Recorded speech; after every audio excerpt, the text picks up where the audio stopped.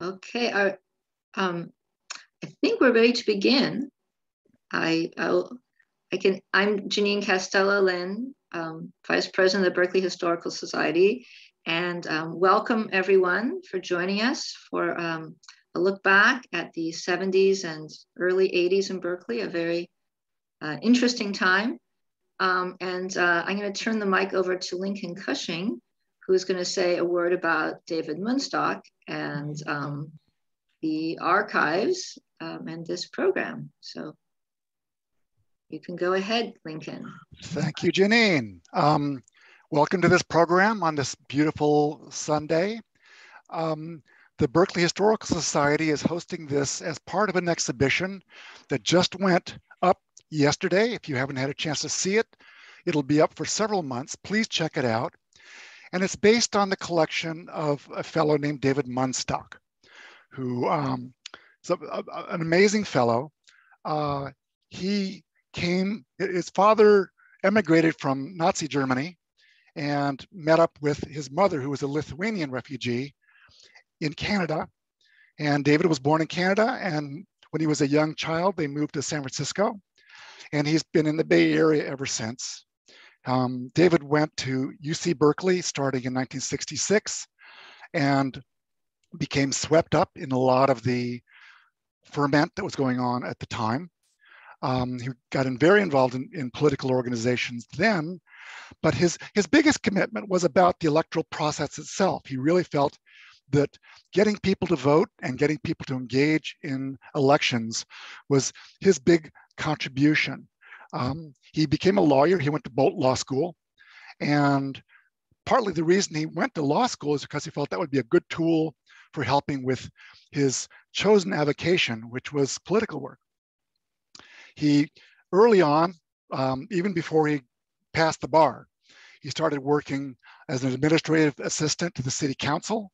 Um, but his day job for many years was with the California Energy Commission. But his commitment to Berkeley politics went very deep. Um, he was very engaged in many of the campaigns. Um, around 1977, he backed off somewhat and became more involved with some of his other life interests, which included world travel. But I met David when I was working at Inkworks, which was a worker-owned press in Berkeley, um, which printed a lot of the campaign material. And when I was cataloging a lot of the stuff, he was clearly the go-to guy to understand what was happening in Berkeley elections from you know the late 60s on. We became pretty close friends around the subject of political posters and such. And before he died, he invited me over to his house and said, there's a bunch of materials I've got in my house. I'd like you to know where they are. Someday they'll come to you. Well, that day came to me uh, just about a year ago, August of last year and I got notice that he passed away. So I went over to his house and spent hours digging things out of his from under his bed and in cabinets and under the eaves of his house, gathered all the materials, processed it, and then realized that the best place for it would be the Berkeley Historical Society. So turned it over to the Berkeley Historical Society. It's a rich trove of material. It's boxes and boxes of fine details about everything about city council meetings, election results. Um, he detailed all this stuff and it's all now at the Berkeley Historical Society. So it's a trove for researchers. We quickly mounted this exhibition, which you see right now, and it's, it's just the tip of the iceberg. We cover some of the features of his content, but there's a lot of material that has not been revealed at all in this exhibition. And we're hoping that more can be revealed through conversations like we're having today. We've got three former mayors and one activist who are going to be talking to you from their points of view as to what makes Berkeley a unique and special place on the political landscape. So there will be, if you want to ask questions, please put them into the chat. There will be an opportunity for those questions to be vetted and answered. Everybody will get a chance to say something. But thank you all for joining us today. Um, I'm going to leave it to the next person here who's going to introduce Gus Newport. All right. Hi. Thank you very much, Lincoln. Um, so uh, Gus, as many of you know, um, was mayor of Berkeley, two-term mayor of Berkeley from 1979 through 1986. Um, and he's also worked in international peace, social justice, and civil rights, um, both before his uh, mayoral terms and after. Um, he was vice president for the US Peace Council, amongst many other um, important uh, roles. So welcome very much, Gus. Um, you're now residing in Oakland, but uh, that's that's close enough. Right next door, I'm in Rockridge. Oh, you're rock. You're almost, almost Berkeley, and I appreciate you being here because I I understand that uh, you just came back from a four-day uh, conference up in Seattle. So so thank you for for hopping on this Zoom call. Um, so you you you did have a very interesting um, political life before you came to Berkeley in the 70s. So maybe you'd like to share with the audience um, what experiences and people in your earlier years influenced you to work on issues of peace and social justice. Well, I was born in Rochester, New York, 1935, during the Depression.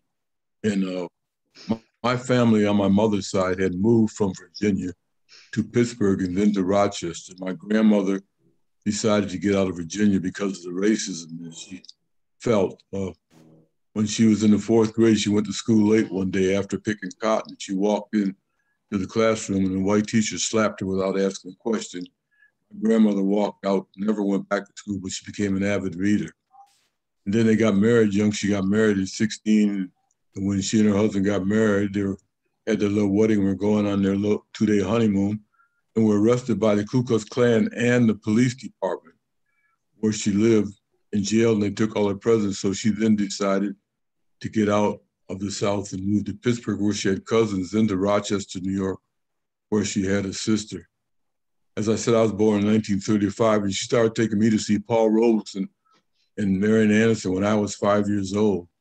And our church, which was run by a fellow named Charles Body, took myself and another fellow in our neighborhood at the age of 12 and put us on a debate team and took us all across the state of New York, debating with other uh, Black youth, different church, about the conditions of the world, slavery, going back to 16, 17, and whatever. So this sort of stuff all prepared me to be very much involved in the civil rights movement beginning in the 60s. I got drafted in 1958 after I dropped out of college and was released in 1960 and came back and civil rights was in full swing. Matter of fact, Rochester was one of two cities that had two race riots. The Kerner Commission came to interview me twice.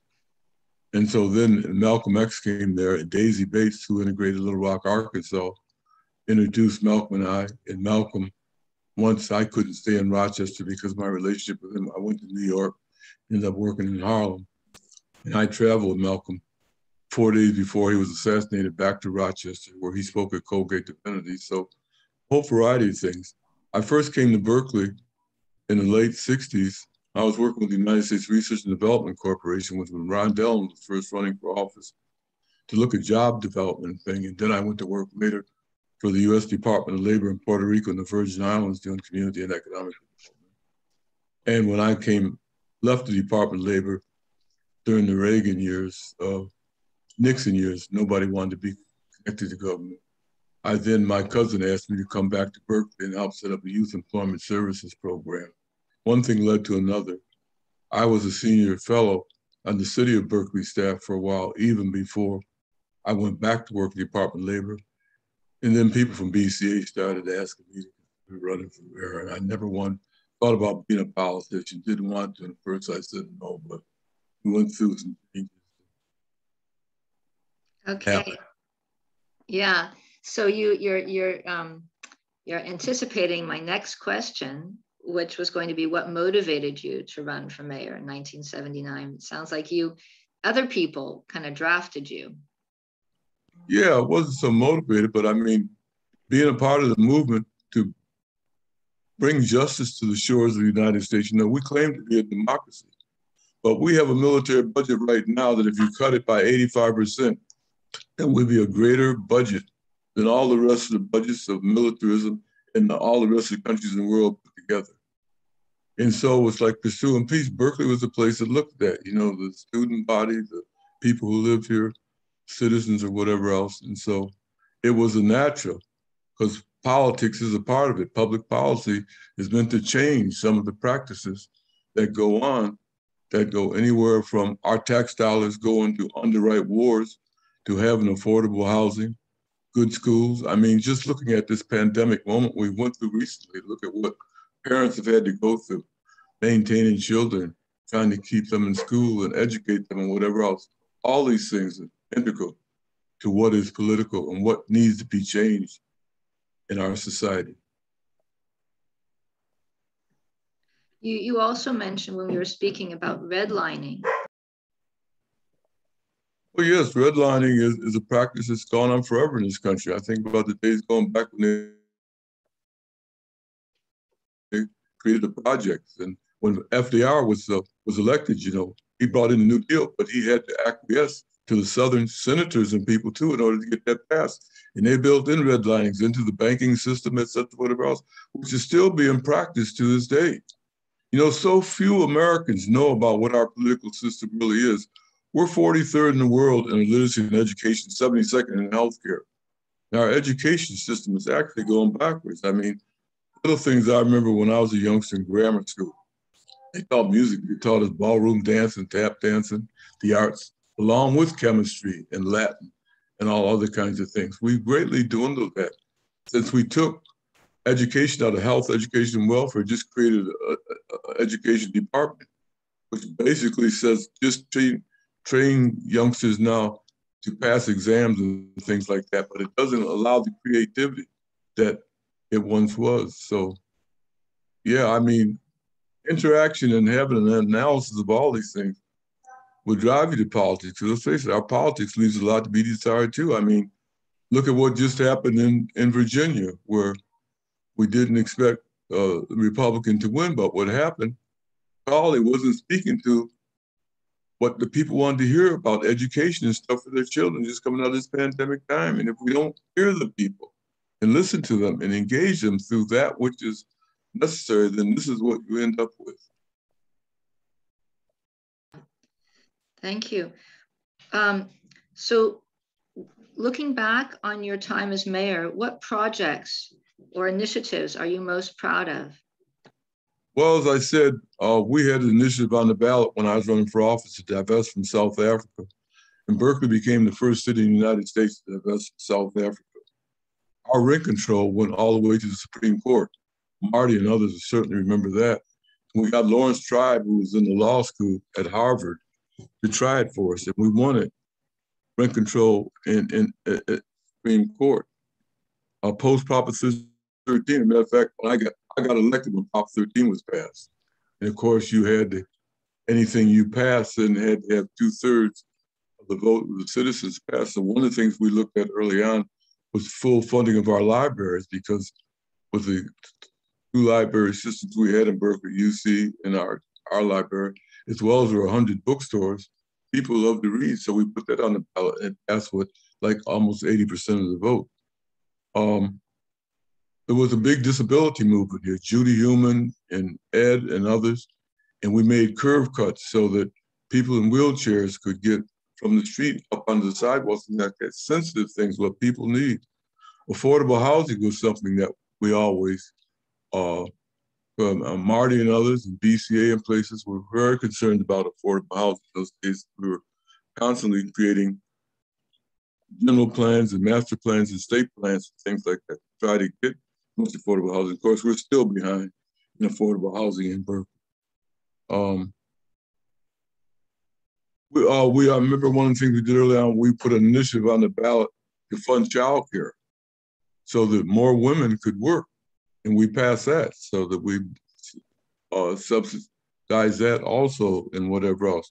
We reformed our police department because of too much shooting and stuff that was taking place in those days. And one of the things we did is we got mental health workers to work the streets and ride in cars with our police because some of what police were doing wasn't necessary. We also made sure that police were well educated to understand and and, and, and and police shooting things like that went down to almost zero in the next 10 years. Uh, we founded during the time I was in office the Berkeley Health Department because we recognized with mental health and this, that, and other kinds of things were needed that health was necessary. And we're one of the few cities in California that has its own health department and has maintained that. And that's it. You got to be in touch and in tune with the people to understand what the problems are. And of course, um, I was on the board even before I was elected and worked of BCA Berkeley Citizens Action. But one of the things that's interesting, although there was a divide between BCA and Berkeley Democrat Club, later to become ABC, there was also a general sense of what was right. And oftentimes we passed legislation together that collectively reflected the same kind of thing. So we, the politics of Berkeley led to, I think, that which is the most. And of course, we were looking at community uh, concerns. You know, when we first started putting the pumps in the street where traffic was coming too heavy because of the danger of way people were driving things like that. All that is a response to what the citizens need and, and brought to our attention. Yeah. Thanks, thanks so much, Gus. So one last question. What words of wisdom would you like to pass on to the, the present or future generation of politicians here in Berkeley? Well, listen to the people. Um, I think first and foremost, as we see now the infighting going on, for instance, going back again, how long it took to get the Biden package passed, you know, at the federal level and how, how it got cut down based on some of the things we need. We should have a relationship with the university. Through Troy Duster, who founded the Institute for the Study of Social Change, I worked closely with them and they helped us with data, whatever, but he also generated a breakfast between Michael Heyman, the chancellor, and myself twice, uh, twice a month and things like that. So although there was some distance between the city and the university, university is a great place and it has great assistance to help us, etc., and whatever else. I mean, we should be looking at the school system right now, getting out of this, going through this two years, this pandemic time, it is awful what parents have to go through to help children through school and this and that. And much of it was done virally and by Zoom, etc., and whatever else. I've been working with groups of people that said with our various skills, we should assist parents who are friends of ours to help them with their children's needs, etc., whatever else. You know, I come out of the movement, beloved community. I knew Martin Luther King as well as Malcolm X, whatever else. And these are the kinds of things that we should aspire to. Is a society that learns to love and work with one another to create and elevate what our city and our systems and our politics are to the highest level so the people can live, you know, a decent life and whatever else. And coming out of this pandemic time now, it's very, very, very difficult times. And once again, we need to rethink and relook at and look to one another to plan that was in the best interest of all. Thank you. Thank you very much for those, those words of wisdom. Right. Well, our, our 12 minutes, I think, is up. So I'll, I'll pass the, uh, the mic to Lincoln, who's going to ask questions of Loni. Thank you very much. It's back to me. Let me give you a brief intro about Loni, who moved to Berkeley in 64. And um, she entered the political landscape when she ran for city council in 69. And that she, she's raised issues of rent control, police reform, neighborhood preservation, lim, you know, neighborhood preservation and development. These are all the sort of the backbone of what has been described as the progressive agenda of Berkeley. Um, in 86, she was the first woman to be elected to mayor of Berkeley. And she succeeded Gus. And she served for two terms. Um, she then went on to the California State Assembly, representing the 14th District, and then was elected to the State Senate in 2008. Um, she's been a lifelong committed political servant. And so I'm really glad to have her on, on the team here. And I have a, a couple a question that I'll start off with, which is, you know, elected office is a stressful and usually thankless job. What inspired you to run for city council and mayor back in the day? Well, Lincoln, nothing inspired me. I think I'm a little bit like Gus here. And I was put forward by a movement to represent its ideas. And it's a movement that had been going on throughout the 1960s in Berkeley, but really beyond that.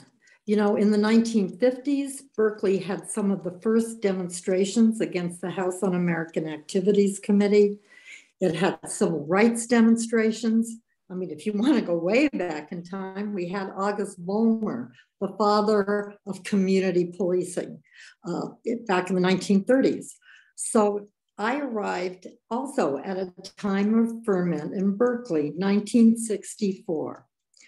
The school board had voted to be the, one of the first districts in the country to bus to voluntarily integrate schools.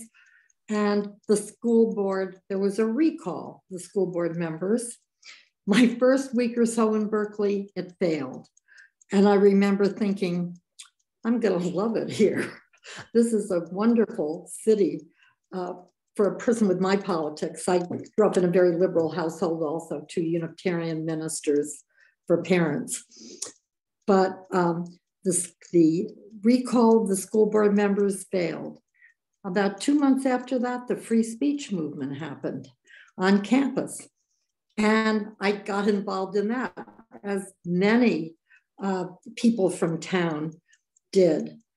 A few months after that, the Vietnam Day Committee, run by two math professors at UC, um, Steve uh, Smale and um, Mo Hirsch, had the, I believe, one of the first anti-war marches in the country, uh, which I obviously took part in. And so I was part of a new community in which people were asking questions all the time and trying to make change. I really credit a bunch of accidents for getting me into politics. Um, Jay Sharlin, who some of you may know, who went to parent nursery school with me, um, her daughter and my little daughter were friends, said to me one day, "Stop complaining against the uh, against the war and go join Women for Peace. So I did. and I ended up working to um, Dow Chemical Products because of their manufacture of napalm and working on a number of issues like that.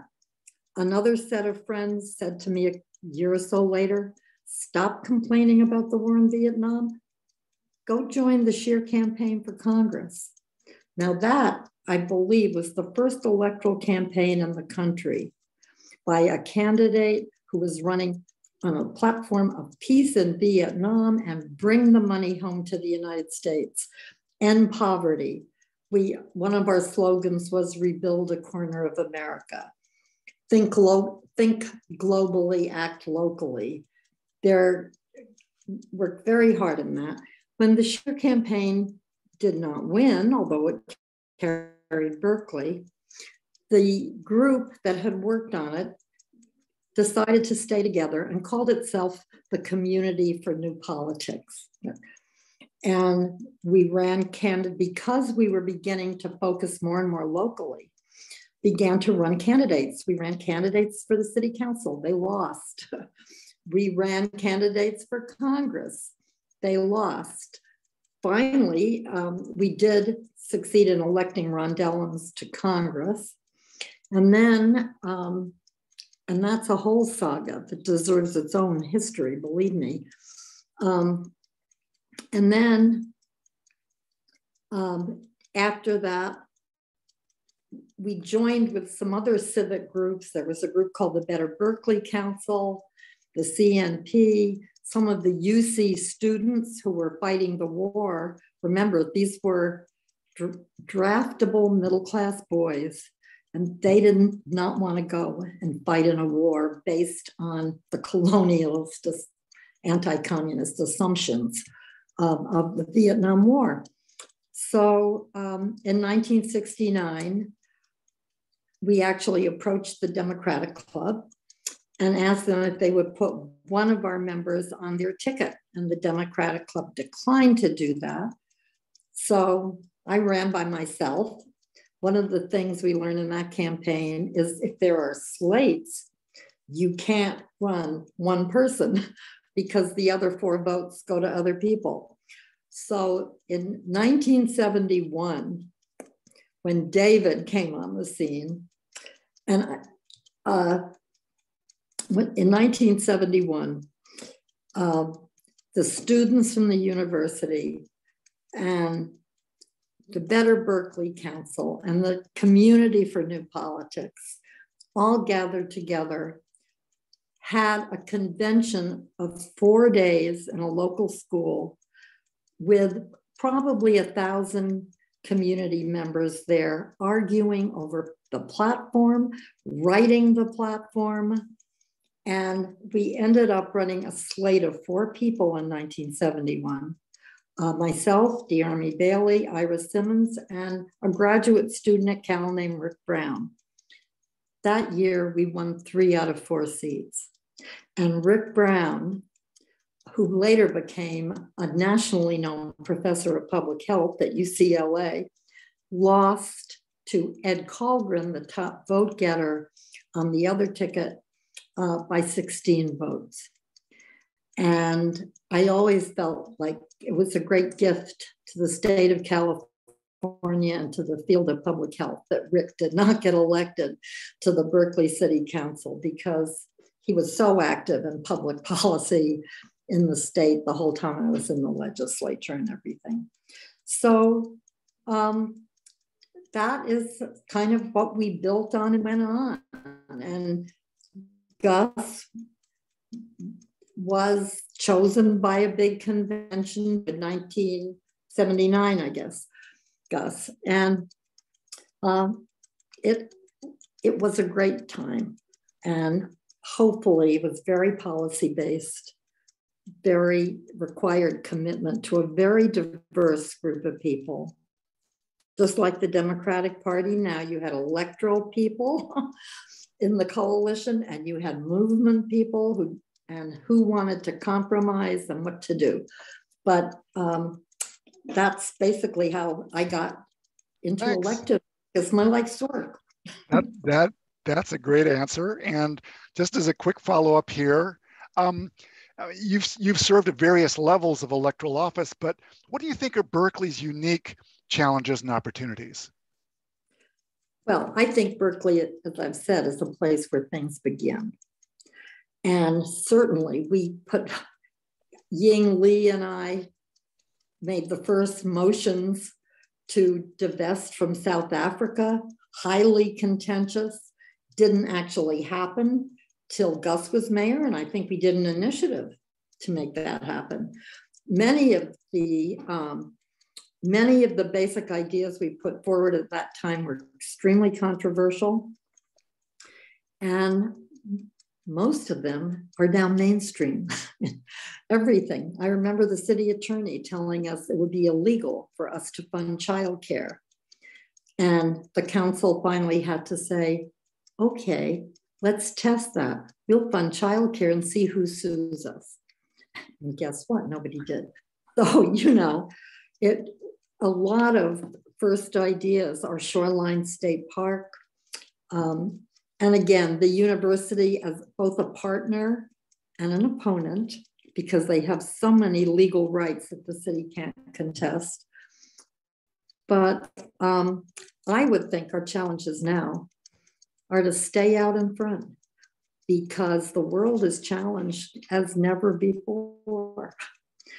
Um, you know, can one city play a role in keeping the planet habitable for healthy human life? Can one city play a role in ending poverty, in educating our kids? Um,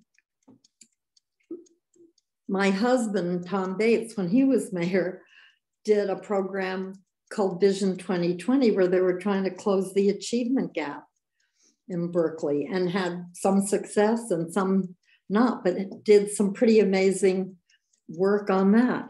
Um, so, how do we educate our kids? Um, how do we build an economy based on equity? Um, which means recalibrating a lot of our economic system. And I think Berkeley is still well situated to do that. I'm concerned that because of that we can lose some of our diversity because of housing costs and think we really have to work to maintain what uh, some you know the secret sauce or whatever but uh, but our role is cut out for us and i say the council is stepping up. It was good to see us um, be the one of the first if not the first city to say that new kitchens aren't going to have gas stoves. Thank you very much Loni. That was really helpful. Okay i think we're moving on to shirley dean. Yes, um, thank you very much. So, um, as many of you may know, um, Shirley Dean was uh, in the City Council, Berkeley City Council, from 1975 to 1982, and again from 86 to 94, and then was a two-term mayor from 94 until 2002. Um, and before that, she started the Bonita Berryman Neighborhood Association and worked to pass the Landmarks Preservation Ordinance in 1974. So welcome, Shirley. Um, and um, i guess I'll just jump in with your time as a city council person from 1975 to 82. Um, and looking back, what issues loomed large then? And um, are these still big issues today or have some of these been resolved? Shirley, I I I don't. Uh, are you are you unmuted? Do you see Shir Shirley's not on my screen? I now you can you hear me? Okay, yes, I see and hear you. Uh -huh. Thank you. Uh, thank you for your introduction. Um, Berkeley didn't have a landmarks preservation ordinance. And when they tore two historic buildings down on the block that I lived on, um, I thought I'd better get busy and uh, change that. So I worked along with many others from the Planning Commission in 1972 to my first term on the council in 1975 to develop a strong ordinance. It survived multiple council efforts to weaken or ignore it through the years after I left office. Today, the People's Park issue is in the forefront. Will UC build housing, there, destroying the open space itself and ignoring its history and adversely impacting the multitude of landmarks that surround it? Or will it be given historic recognition is the decision that lies yet to be, yet to be made. The second thing that uh, I remember so um, from that term, from that uh, uh, time of history, was the recall of D'Army Bailey. Bailey, who barely met the 90 day residency requirement in Berkeley to run for office, was selected as part of a council slate. He was elected and about two years later was recalled in a hard, bitter campaign led by Wilmont Sweeney, who went on to become a very respected judge. But that hard, bitter campaign deepened the strong political divisions that affected so much of the future actions in the city.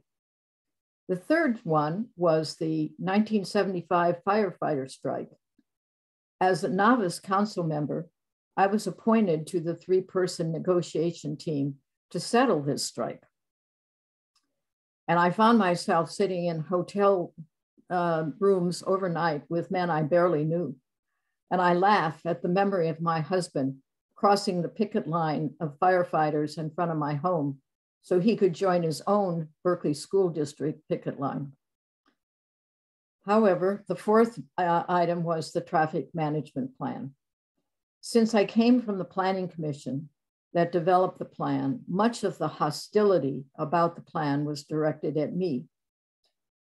After years of controversy, hearings, listening to people, making adjustments, and um, dealing with controversial uh, ballot measures, the final step was Initiative Measure O, which would remove only some of the diverters. We fought to defeat it and we won.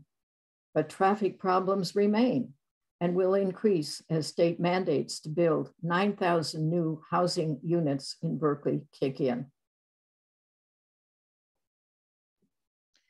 Yes.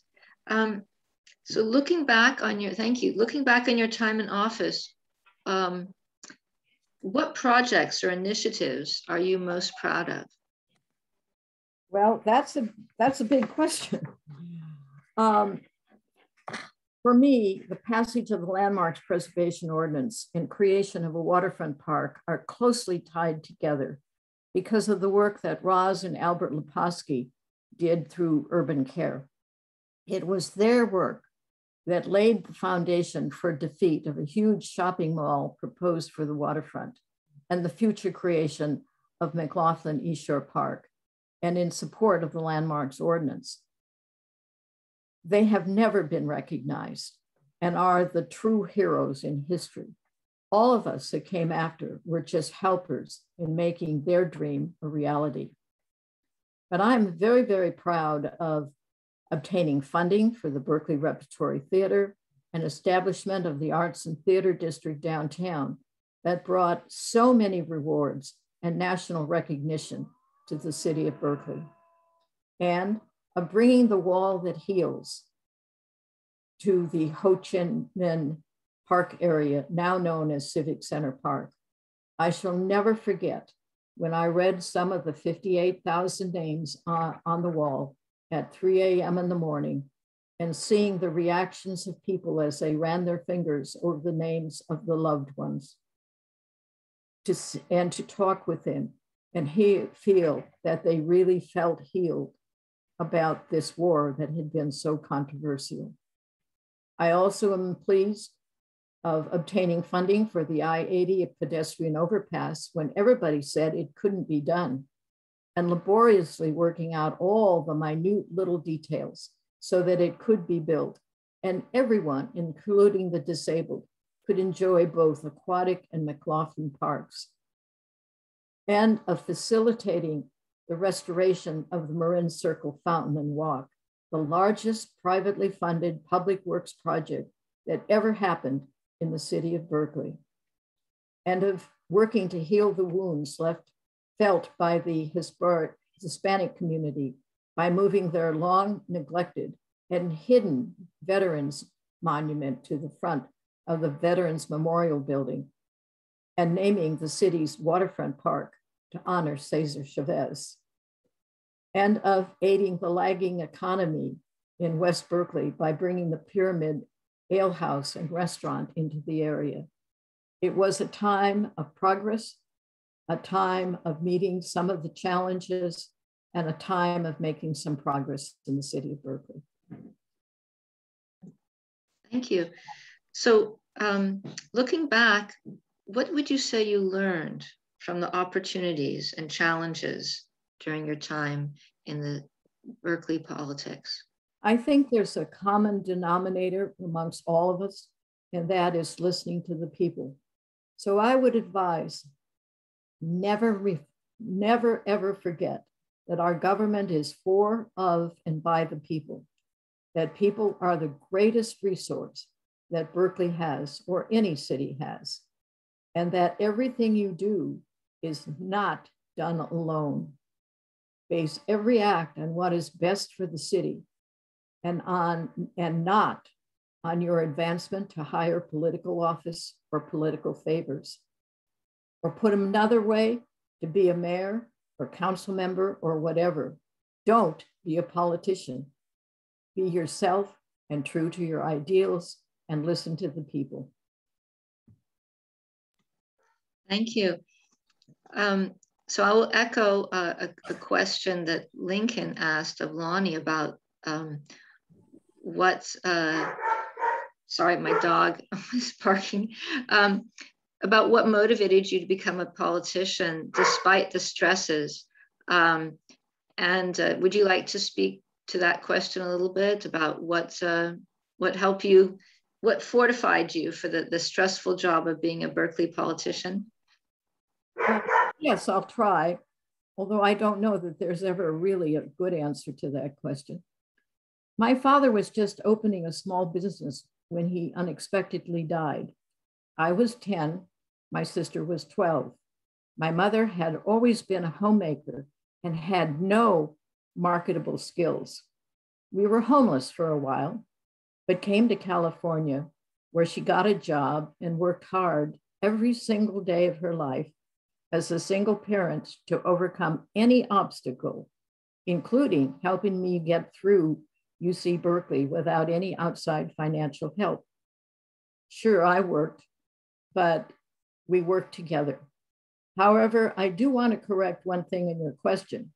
I never wanted, sought, or felt I had a career in politics. I was just a person trying to correct a wrong in my neighborhood with no political ambitions over and above helping the city that I loved so very, very much.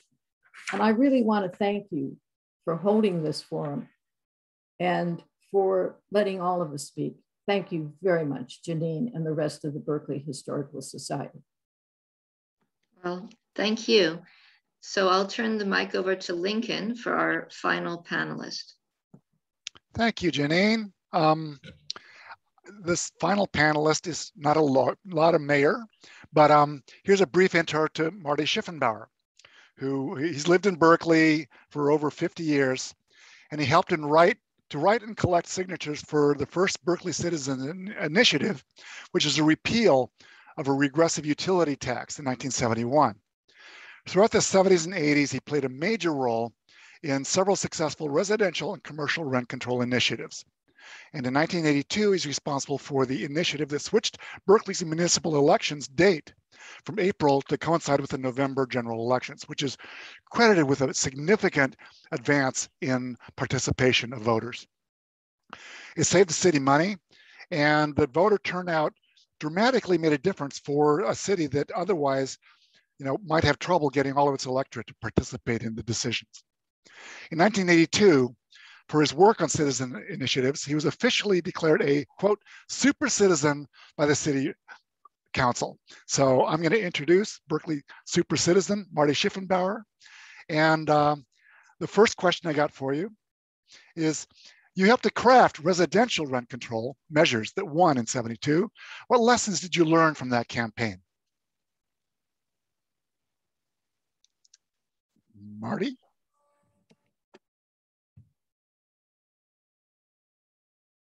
Marty? Bueller? Marty, you're muted. Marty. Hold on. Am I doing good now? Now good. All right. um, so uh, thanks for the introduction. One correction, the initiative, I, am not quite sure if I heard you correctly, but the April uh, 71 was my first initiative, not the first initiative in, right. Berkeley.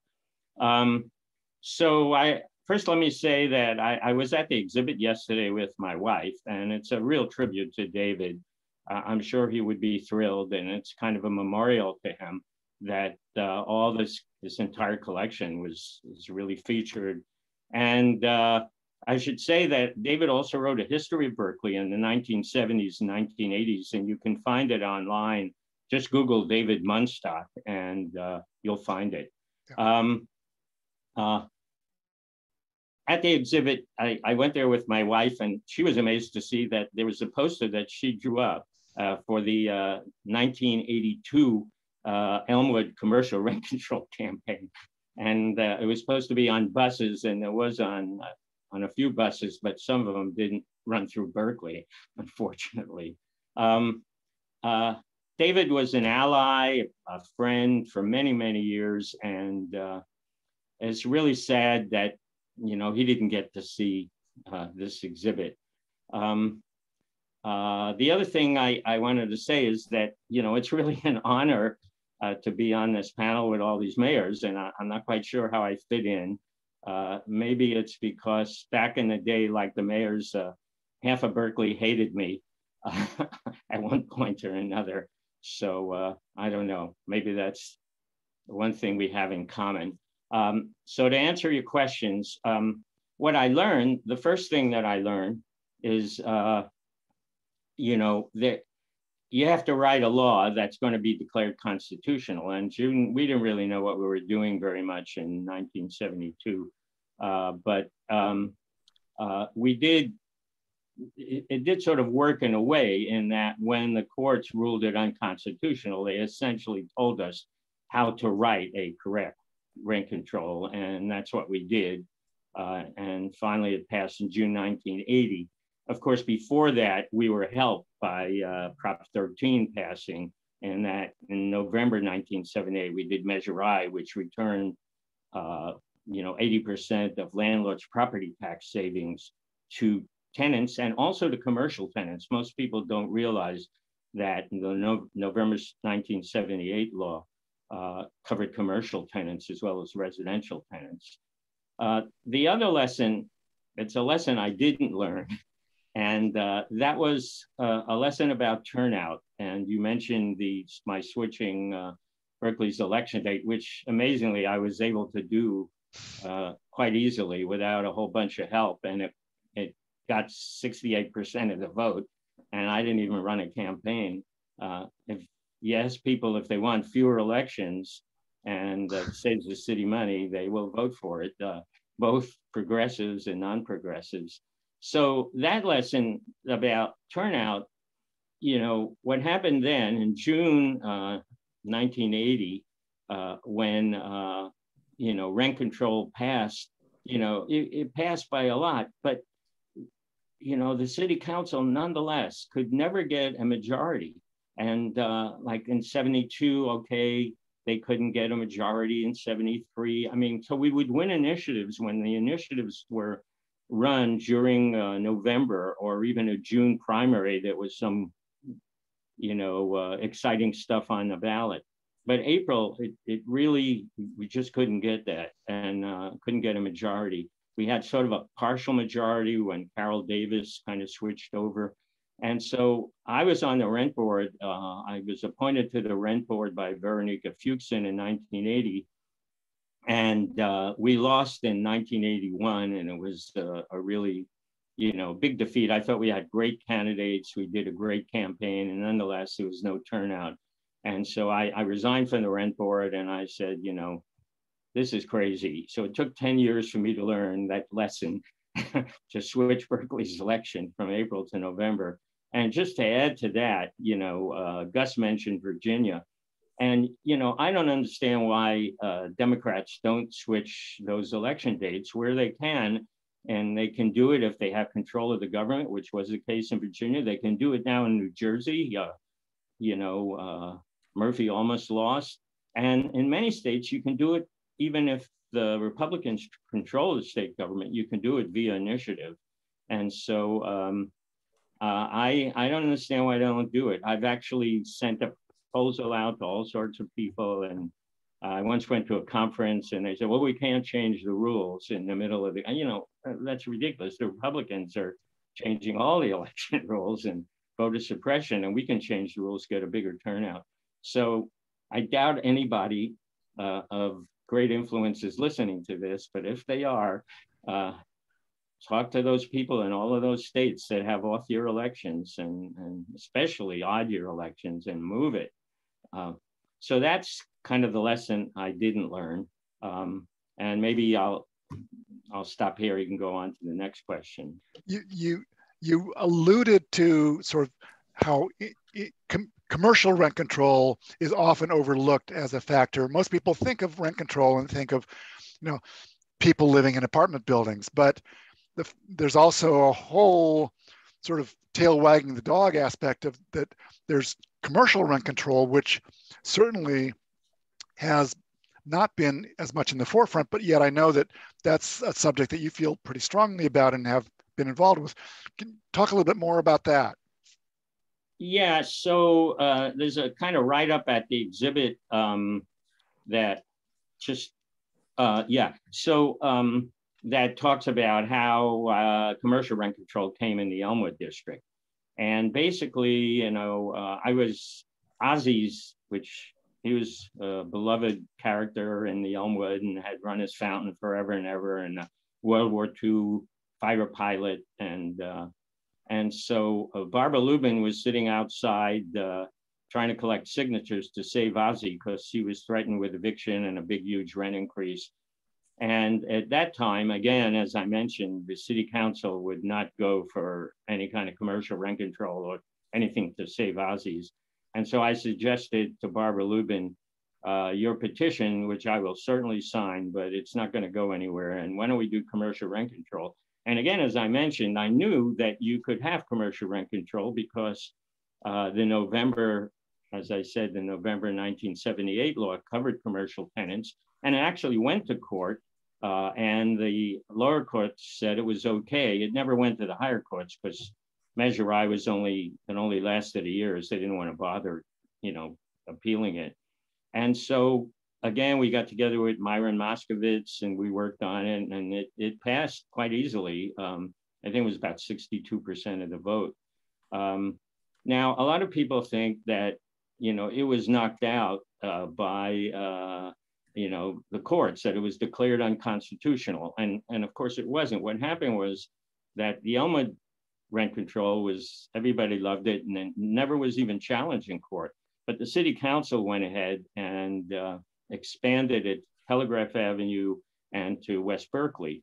And when that happened, the landlords really got excited, particularly one landlord in Telegraph Avenue area on the, the famous cafe right across from Boalt Hall, which is now no longer Boalt Hall. And uh, uh, they fought, they, they fought in court and uh, uh they didn't they didn't see, feel that they would win in court and then eventually uh, what happened, uh, one provision was knocked out, but not the entire law. And so they were smart enough to go to the state legislature. And not only did they ban commercial rent control for Berkeley, they banned it for the entire state. And uh, so that was the, the demise, but it still did a lot of good in certainly in the Elmwood district. They lasted, I think it was about five and a half years.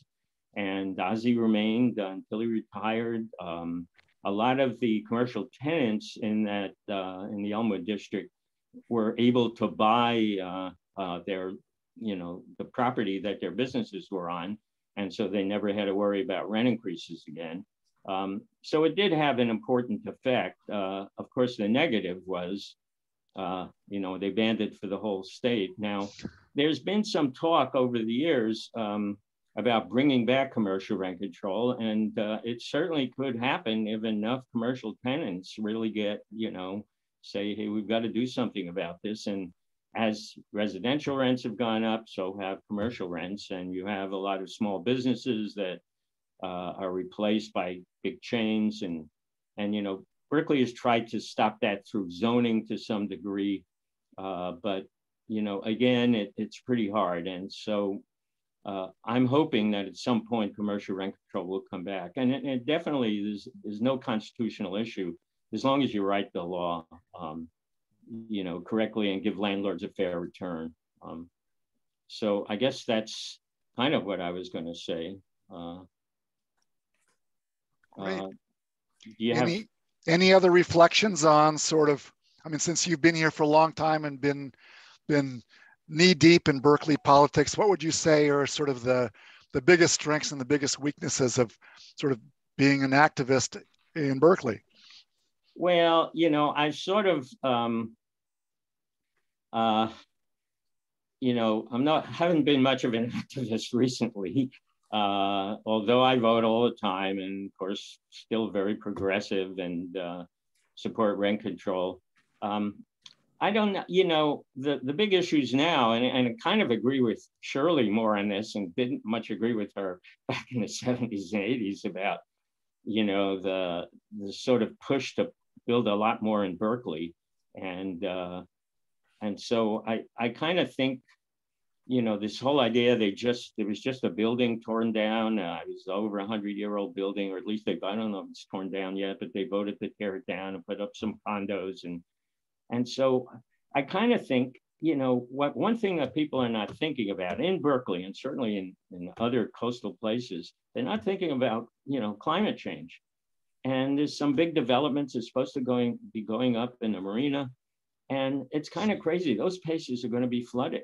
And uh, a lot, all those buildings now they want to build on Fourth Street, uh, um, across some Spenger's, and of course uh, Native Americans are against it and that is likely to be flooded. And we just had this super rain, and uh, once the oceans are getting warmer and you're getting more water vapor in the air, and you're going to have a lot more storms like that. And we've seen big storms with flooding in, in all kinds of places. So I don't know. Uh, I mean, definitely need more housing, but there are other places I think that are better than Berkeley. Uh, uh, and Berkeley is pretty dense and, and just, I was at the marina today taking a walk and coming back. There's massive numbers of these big buildings and and I don't know if they even are full of tenants. So, but Berkeley politics have really changed. And, and I should mention that, you know, after the election date changed, the, um, uh, I think Shirley and, and some of my friends, in fact, decided that uh, this was too favorable to the progressives. And so they ended up uh, changing it to, uh, uh, you know, district elections, which I don't know. It's harder, I think, to get stuff done with district elections. Um, uh, you know, because each council member is very much in tune with their district and not maybe looking at the entire uh, city, what the city can need. Now, you know, district elections obviously have some some things in favor. It in San Francisco, I think it's worked well, but um, so I'm not quite sure. Um, things have really changed. Rent control is no longer the big issue, and that was, of course, my big issue. Um, and uh, of course, the state came in and weakened it, and also like they didn't get rid of it like commercial rent control. So uh, I guess I don't know. Um, and certainly, we're still progressive in terms of social issues, and uh, it's still a very progressive city, very tolerant city, and uh, I don't expect to move. Thanks, thanks, Marty. I. I want to thank all of you for your service here. I mean, this is this is not an easy city to run. I don't know what city is, but um, everybody's been involved in some aspect or another trying to make Berkeley a better place. And that was, you know, that was David Mundstock's commitment. I mean, he really cared about the city. He really loved the fact that this was a, a, a, wild and crazy mix of people, and he was really committed to seeing it move forward. And so I feel honored that David you know, picked me to help shepherd his collection, just as there are many other collections in, in the city. I mean, collections are built by individuals that then migrate up the food chain through, through archival consultants such as myself into institutions that can better take care of them, better share them. And so all of you out there um, can play a role in helping to build our own history. And so if you have piles of stuff, small or large, think about them and don't throw stuff away. And you know, collections such as David's are are really important to adding to our coherence of what what happened and where we can move forward and what the, what are the lessons to be learned. So I think this concludes the presentation section. We can now move on to questions from the audience. So I'll turn this over to my Berkeley Historical Society colleagues. Thank you. Well, the first question I believe was um, relevant to what you were just saying.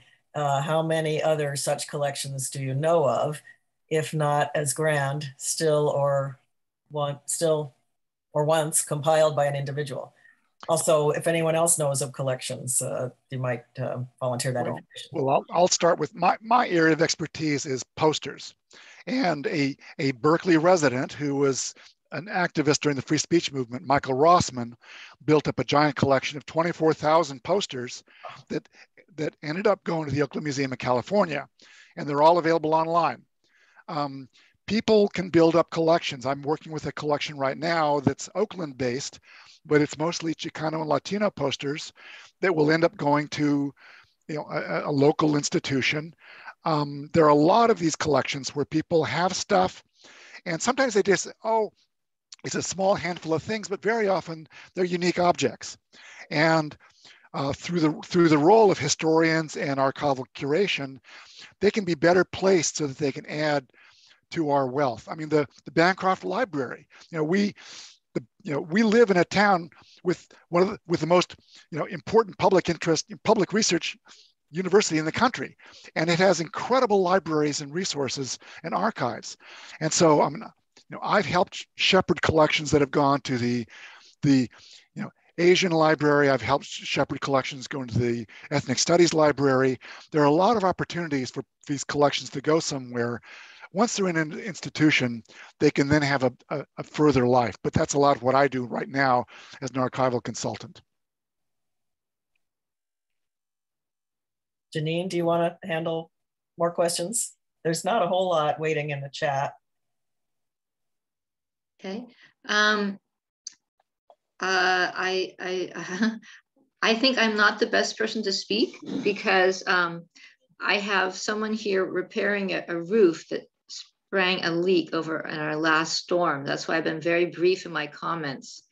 Uh, I have someone sawing nearby, so I'm going to let um, somebody else do do uh, the questions. Oh, okay. Uh, yeah, thank you. And for you, Jeanine, um, talk a little bit about the oral history project that you guys are doing at the Berkeley Historical Society. I think that's extremely important. So many people that remember the 50s and the 60s in Berkeley yeah. are no longer with us. And I would love to see what we can do in terms of recruiting volunteers to help do some of those um, oral histories and develop a protocol so that we'd be getting the same information from people, that sort of thing. Um, if Berkeley is a place where things begin, it's also a place where we can study the process of social change, I think.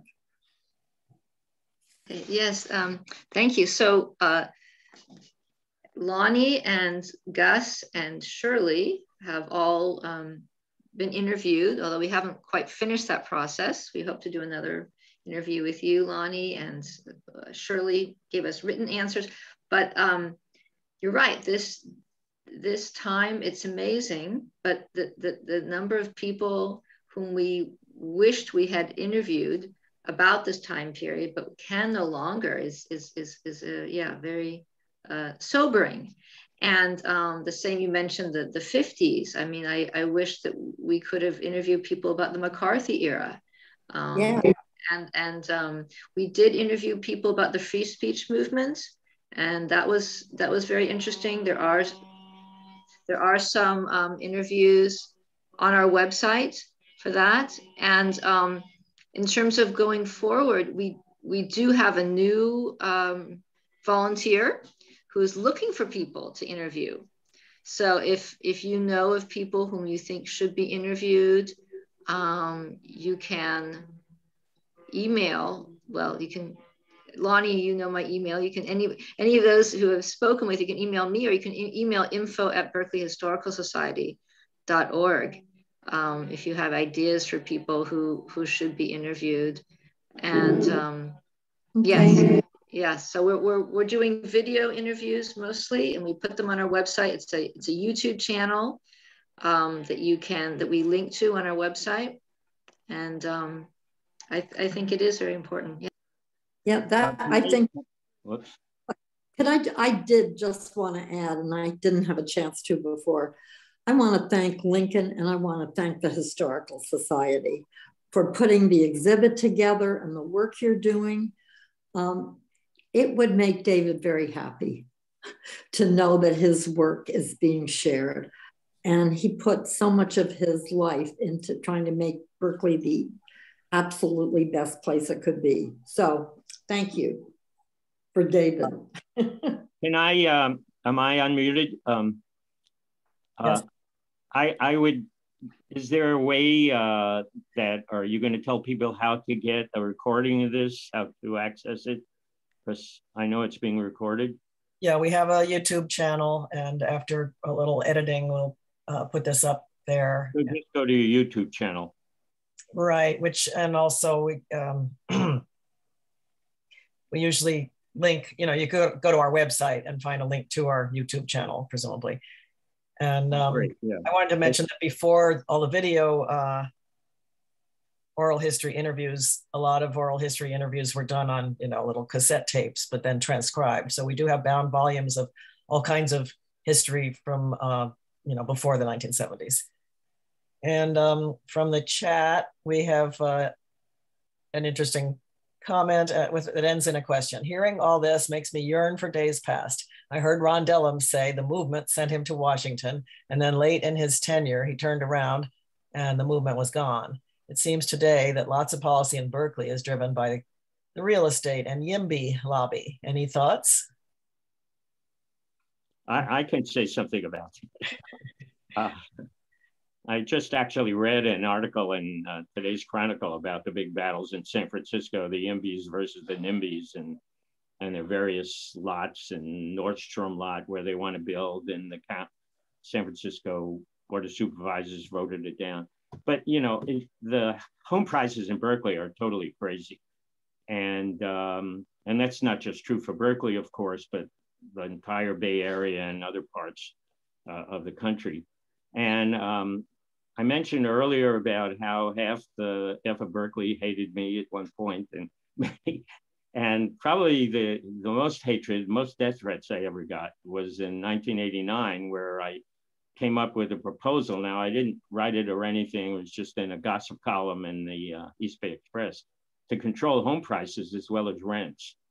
And um, I'm still thinking, you know, there is, there's probably no way Berkeley can do it, of course, as a city all alone, but uh, state might be able to do it through, uh, you know, requiring when home prices go up a huge amount, requiring much bigger down payments and stuff. But that's a huge problem. And it isn't just supply, there's a huge amount of speculation that goes on. And many of the people who buy these homes for all cash and pay ridiculous amounts are never never going to live there. They're flippers, and um, and it's true in Berkeley. It's true in other places. So that it's you know just building more housing is not going to solve the problem of out of control home prices and unaffordable homes uh, in Berkeley and elsewhere.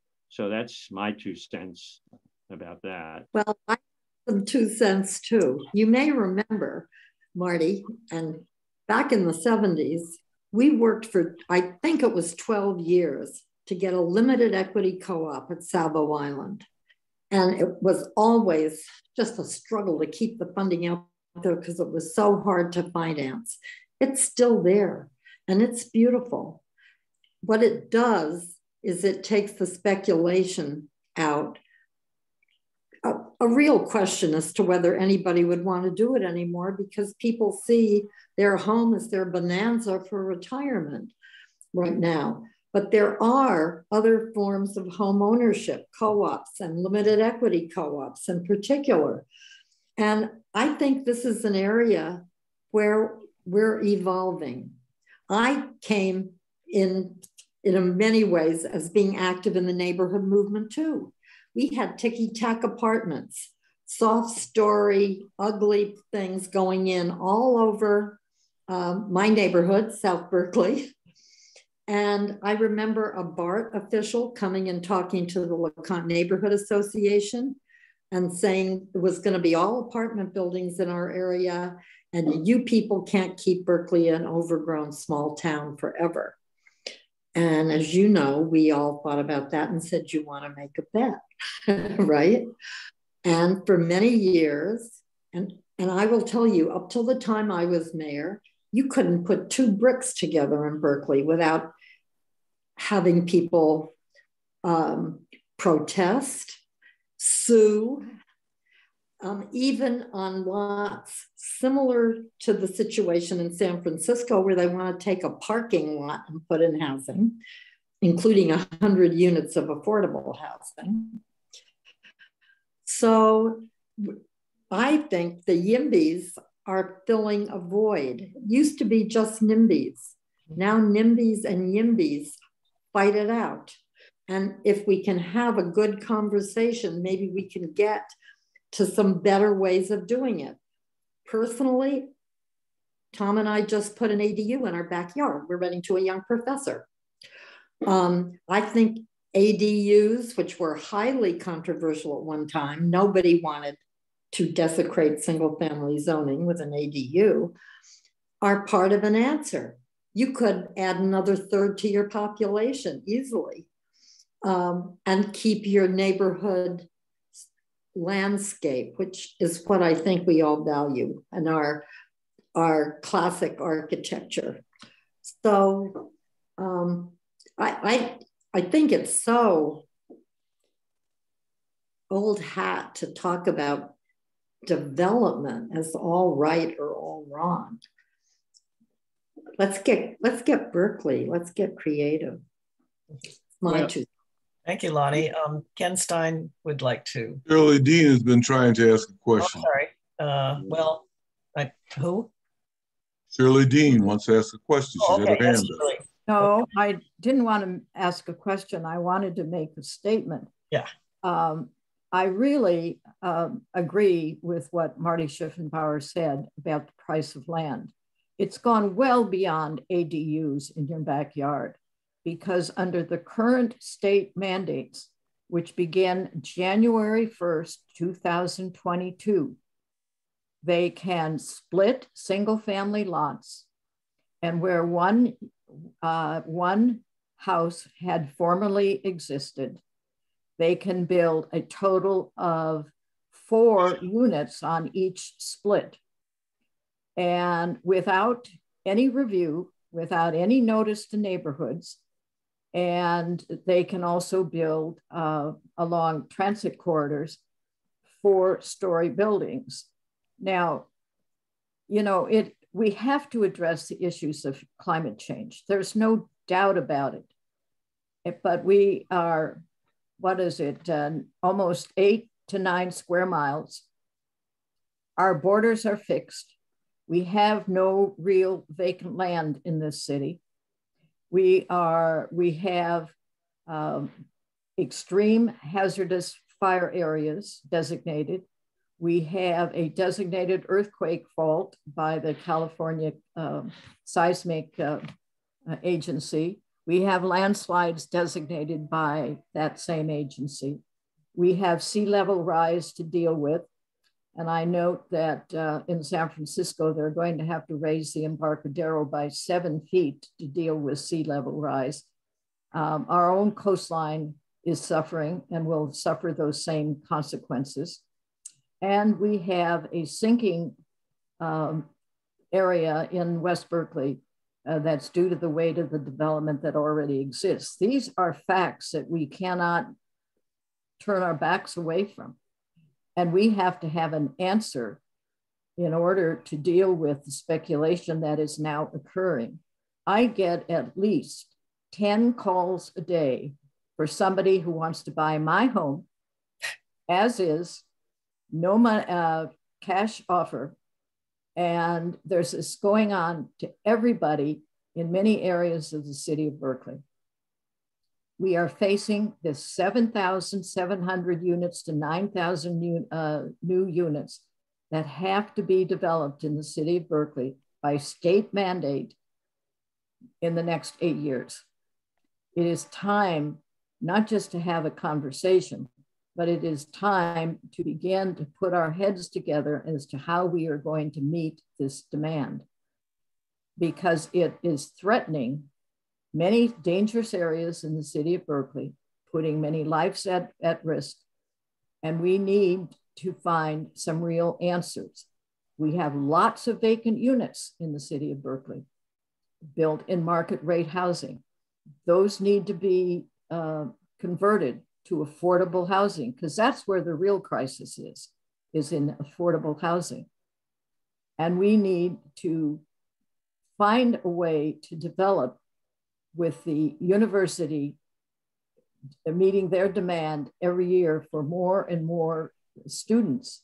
You know that they have not counted the 7,000 students who live in university dorms as even living in the city of Berkeley in a housing unit. That needs to be changed because they count too. And I don't know how people came up with some of these numbers, but we need to not only find a way to meet growth in the city of Berkeley, but we also need to find a way to straighten out the statistics that are being used to put forward these development plans. This is a very, very serious issue. And it is being run by the YIMBYs, who will, if you dare to say we can't make that kind of, uh, we can't meet the kind of uh, standard that says 9,000 new units in the city of Berkeley, they will call you a racist. But yet, if you ask them, where are we going to put all these people? How are they going to live? How, what will happen to the traffic flow? Where will happen to public safety in terms of earthquakes and fires and sea level rise, et cetera? There are no real answers. So we have to mobilize as a community to find the direction that the city is going to go in over these next few years. And we don't have much time. We have no time in terms of climate meeting the demands of climate action, and we have no uh, time to meet the demands from the state uh, Department of um, Development. So we need to really work hard on this issue as our number one priority in the city of Berkeley. Okay, thank you. Um, a couple of people, Phil Allen and Carla Woodworth, have put in the chat something about um, maybe maybe that mandate. I guess it implies that maybe that mandate for 9,000 units can be uh, um, reversed through a state initiative process. So we'll see. There's talk of that. There is talk of that to return zoning control, land use control to the city rather than let the state handle it from above. So anyone who's concerned about that should look into that. Uh, Ken Stein, you want to speak? We're almost out of time. Oh, I mean, we have 10 minutes left. And you, first, you need to unmute yourself. Okay, can you hear me okay? Yep.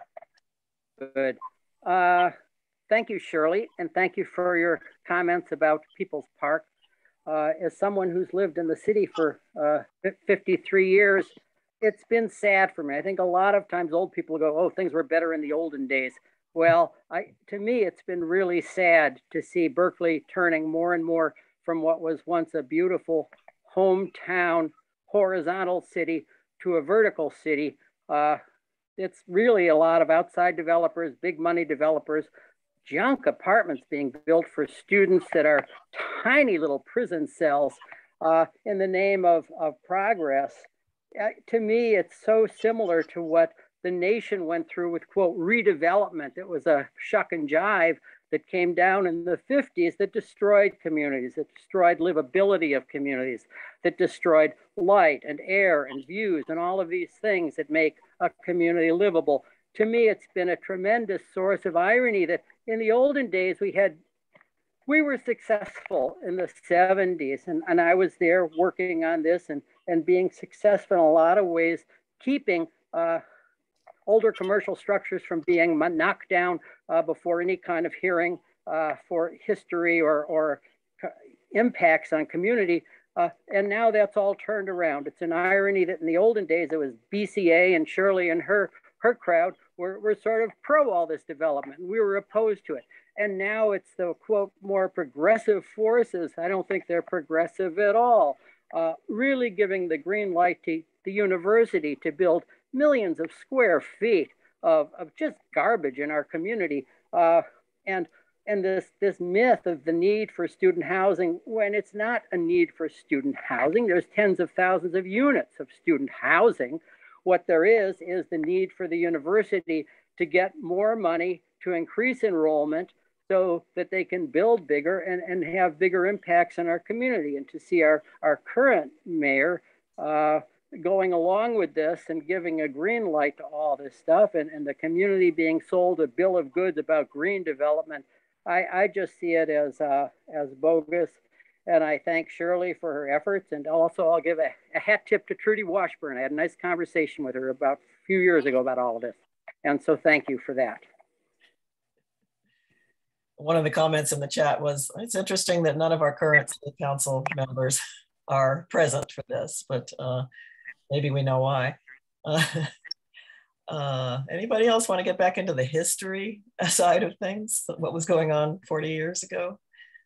Um, uh, Gus, would or Gus, would you like to comment on um, the housing problem? Well, well, yeah, I'll go back to the history because I remember when I first came on the Berkeley scene, there were a lot of uh, statements and people who own housing that you're never to sell this house to a person of color to a black person. Then blacks could not live north of uh, what is now MLK Way, I Grove, I guess it was, in the city of Berkeley. Berkeley, prior to Ron Dellums coming on council, was basically a Republican city. Talk about gentrification, the black population like 27, 30% during the time that I was mayor, is now down to 6%. Things are going on we don't even speak to. You know, Berkeley also is a city is only nine square miles. So you can't just keep pushing stuff into it without real thought and analysis and understanding the environment and whatever else. And I look at all these market rate condos going up and all the buildings being built in Berkeley. And I've said all along, during this pandemic age, a lot of people are not coming back to the workforce, so they're not going to move into those. As Shirley said, they could make this affordable housing. We could put solar panels on the top to create energy and a variety of other things. Where is the thinking of what Berkeley was once going? I see some of you here nodding your heads, and you're citizens of Berkeley. But where is that moving? Where is that kinds of discussion, this and that? Certainly, as somebody said, I'm sort of sickened of, of, of Jesse, who I endorsed the first time he ran, our current president, going along with all this massive development and whatever else. And it's like these people still claim to be good progressives. There's a time to stand up, people. The time is now. Thank you. Yeah, can I uh, uh, chip in here? Like um, Alani's idea of limited equity housing, because she knows I, I do live in a in limited equity housing. Um, you know, maybe some of these developments, uh, rather than saying we'll give a certain number of uh, units for low income, uh, you can make a whole development that's a limited equity housing development. And no one's ever come up with that, that idea that I've heard of.